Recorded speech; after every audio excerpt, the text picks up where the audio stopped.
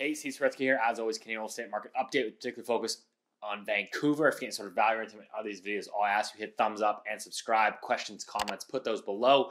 Uh, it's been a long week. Uh, I just got back from the Loonie Hour live event at the Hockey Hall of Fame. So thank you so much for coming out and supporting that. Highly encourage you guys to go check out the. Uh, it is now up on YouTube. But lots to talk about this week. We got some uh, sales figures on Vancouver and, and the GTA. We've got some U.S. sales figures that I think are important. We've got commentary from central banks. We've got a Bank of Canada rate hike announcement coming up next week. So, gave me my commentary on that. Mortgage rates, uh, bond yields moving. Lots happening in financial markets as we go into December and getting closer to rounding out this year. But wanted to provide you guys a little bit of context on what I'm seeing in the ground here in the Vancouver housing market. You know, where I run a business on a day to day basis. Um, it continues to be the same story, which is very very weak sales volumes you know we're running at historically low levels but the big story here is i, I think inventory continues to be rather benign. You don't have this big flood of people panicking and dumping their housing on the market and, or foreclosing.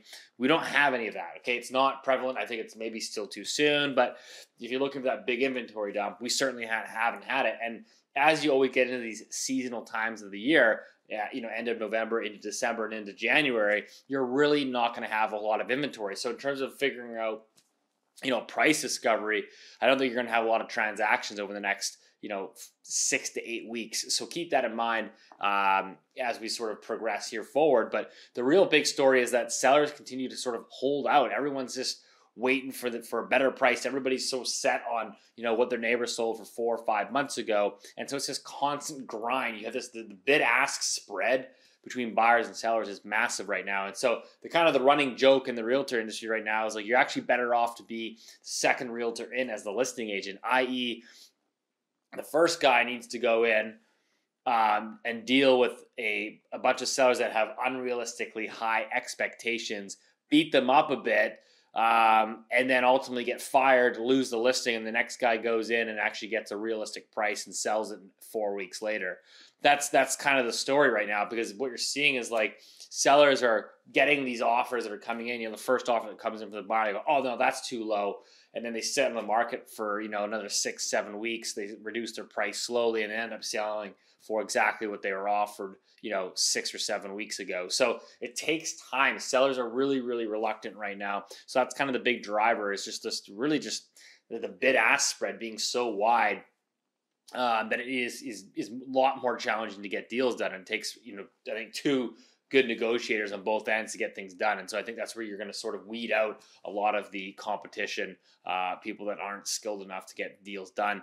But, you know, we look at Greater Vancouver home sales, you're seeing that in the data. I mean, Greater Vancouver home sales down 53% on a year over year basis. Um, outside of 2018, remember 2018, we had an 18 year low in annual home sales that year.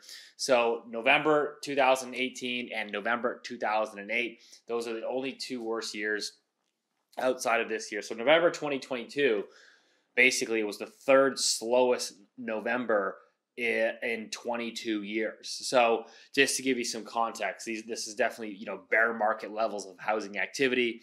Um, we the home price index finally fell uh, on a year over year basis in November. I think down 1.7 percent year over year. So again, rate of change, understanding rate of change is extremely important. We've talked about it on the show before. Uh, seeing similar things in the GTA. You guys know I've talked about it before. The GTA, in my opinion, is a market that is getting hit harder than Greater Vancouver. Um, GTA home sales down 54% year over year. Um, lowest home sales for the month of November since 2008. Again, you know, you're looking at the two largest housing markets in Canada really running at, you know, decade, multi-decade lows in sales activity. So, and it's not just, you know, again, this is not just Canada. When rates go up, uh, you know, 400 basis points in a highly levered asset, an asset that, you know, derives a lot of economic value, which is, you know, it's, it's most households' largest asset. Uh, it, it is a, it definitely plays a factor into the wealth effect. When your house goes up, you have more money to you feel you feel wealthier. You tap into that money to go spend. Um, and so, and you actually have the ability to tap into it through a refinance or through a home equity line of credit. So, uh, as again, as the largest asset prices, largest assets fall in value, they get repriced, and your interest rates are so punitively high that you don't have this ability to basically tap into it for spending. Obviously, it's going to start pulling on different parts of the economy. And we can see this same thing happening in the US. Uh, US pending home sales down 40, 40, 40% on a year over year basis. Uh, the steepest decline on record uh, dating back to when this index was created. So, guys, this there's there's a lot happening uh, behind the scenes in these markets, but now we have to sort of ask ourselves, well, where where is the most vulnerability? You know, we got talking about Bank of Canada rate hike coming up here next week, December the seventh.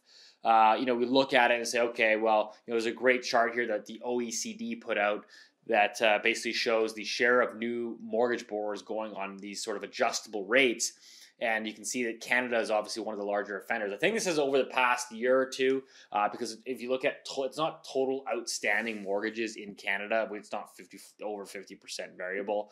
Um, it's it's somewhere around the thirty percent, thirty five percent mark. So it's actually lower than that. So uh, I'm not sure exactly what the OECD is pulling out, but the, the story remains that you know if you look at the U.S the most common mortgages there, they don't really have these floating rates as they typically lock in for 15 or 30 years at one rate, right? So, I mean, if you took out a mortgage in the US and you locked in, you know, a 3% rate for the next 30 years, it's probably going to be potentially the trade of some people's lifetimes. Um, so, you know, you have to keep that in mind. But so the Bank of Canada, uh, I think the markets are pricing in, I believe it's 25 basis points uh, at the December meeting here. That's kind of my my opinion. I think it's 25 and done. Again, the market is still pricing in. Um, I believe another 50 to 75 basis points of rate hikes before they peak and they actually end up market again as pricing and rate cuts towards the end of 2023. Uh, I think my personal opinion. Uh, feel free to come back on this comment, this channel, make fun of me you know, three, four, five months from now, I think December is 25 and done. Uh, if they do get 50, it's 50 and done. I think that that you know we're, we're I mean the damage is done. We, we can see it in the numbers. The steepest house price correction, uh, the national house price index down 15 percent. Uh, since it peaked earlier this year. That's the steepest correction on record, nearly double the previous decline in 2008, 2009. Uh, you're seeing some sectors uh, in these some of these suburban markets down 20 25% and i think there's still room to go. So you'll see some of these suburban markets that end up falling 30 35 40% um, the damage i think is already done. Um, so that's kind of what we're looking at next. Uh, one thing to sort of keep in mind here um, couple more interesting mortgage data numbers uh, from CIBC Capital Markets. Uh, overall mortgage originations in Canada are down. Uh, they've fallen about 30% on a year over year basis. So that's mortgage originations across Canada down about 30%.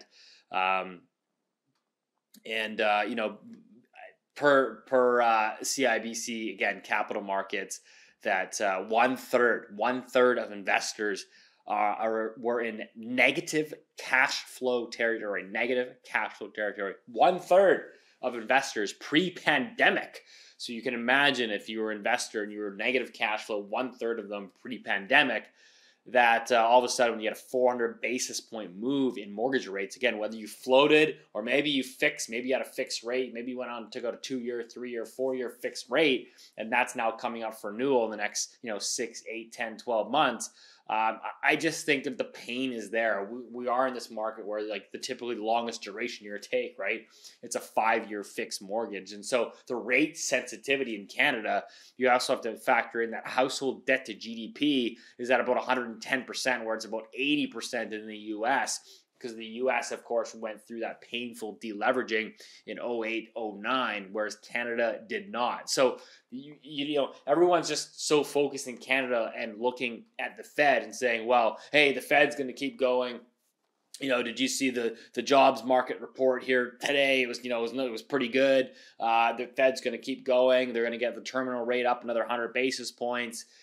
And while that may be true, it doesn't mean that the Bank of Canada has to follow. And yeah, I know people get worried about you know currency movements, but listen, Canada is going to be done. The RBA in Australia is going to be done. I think New Zealand's getting closer to tapping out. Countries like South Korea, all these, all these, uh, you know, economies with highly levered, highly uh, indebted uh, households are, are just going to have to tap out before the Fed. And, you know, we can see already again i think japan's a clear indicator i think in the east in the eurozone as well.